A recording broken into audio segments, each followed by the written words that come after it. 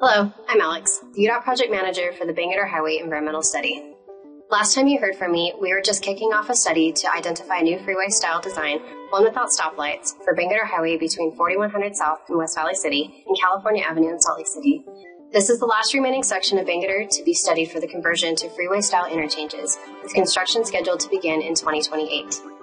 Because traffic on Bangerter is expected to double by 2050, our project will improve congestion, safety, and quality of life by upgrading the highway now, all while minimizing impacts to the environment around it. To determine what the new highway design could look like, we compiled traffic and engineering data, analyzed potential environmental impacts, and gathered community feedback. Based on this information, the study team put together four design concepts. After close review, we've determined that the concept that meets our traffic goals is economical to construct and has the least impact to the community is what we are calling option B, interchanges. This design includes constructing on and off ramps at 4100 South, 3500 South, 2700 South, also known as Parkway Boulevard, SR 201, 1820 South, and California Avenue. Due to the spacing required between freeway interchanges, this design also means that access on and off Bangerter from 3100 South and 2400 South would no longer be available. However, traffic could still travel east and west across these two cross streets without a traffic signal. It was important that we understood what removing access to and from Bangerter at those cross streets would mean for traffic, and we found that less than one minute of additional travel time would be added by using the interchanges north or south of these two areas instead. Next, feedback from the public and city officials told us that the community prefers Bangerter to go under the cross streets where possible. While we're not able to do this for most of the segment because of high groundwater levels, our study showed that we have a unique opportunity to have Bangerter go under 4100 South. We'll be able to lower Bangerter slightly and raise 4100 South, limiting the visual barrier for the community.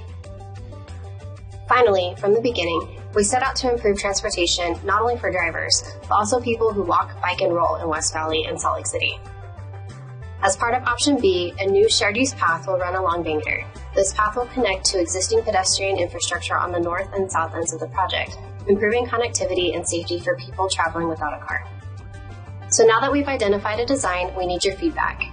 More details about the improvements and what they mean for drivers, residents, business owners, and property owners are available on our website and in the draft environmental study at udot.utah.gov slash Bangerter 4100 to California. We invite you to review the maps and materials and join us at one of our upcoming events to provide input and ask questions.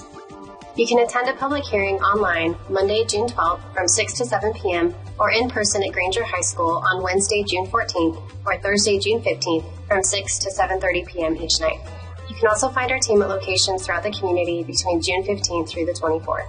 Details about these events are on our website. If you own or rent property that may be impacted by this new design, you'll be contacted directly by the study team and have several opportunities to discuss your individual situation throughout the remainder of the study which is slated to wrap up this summer.